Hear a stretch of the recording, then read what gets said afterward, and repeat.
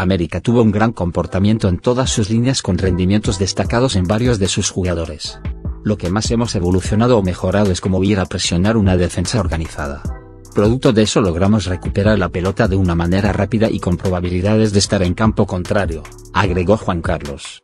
América suma dos victorias, ante Envigado y Bucaramanga, y un empate, ante Pereira, en la liga y ahora alistará el duelo Valle Caucano ante Cortuluá, juego programado para el próximo viernes en el corazón del Valle. Tenemos una gran oportunidad de seguir mejorando, de consolidar nuestra idea de juego y muy agradecido con los muchachos porque los que han llegado están interpretando muy bien la idea y la están ejecutando mejor aún, puntualizó Osorio.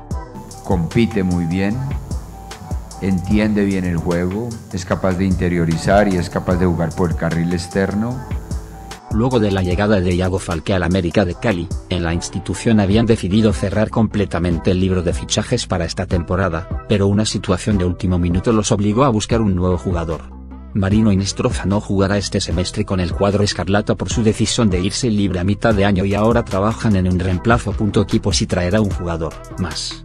Explicó que es un atacante extranjero y que juega bien por las bandas. Aunque no dio más detalles, Tulio Gómez había explicado sus características horas atrás. Hay otro muy bueno, pero tenemos cupo para cuatro extranjeros y hay tres, y solo se pueden poner tres en campo, esperemos a ver. Hay un jugador muy bueno por ahí, pero es que no tenemos presupuestos para más refuerzos así como Iago Falque. En los últimos días, se mencionó la posibilidad de contar con el argentino Tomás Andrade, quien juega en el fútbol uruguayo, pero ante la llegada del español, se descartó ese nombre. Resta esperar para ver si logran sorprender con este jugador, y adicionalmente si le buscarán un reemplazo al central Kevin Andrade. Deja tu opinión,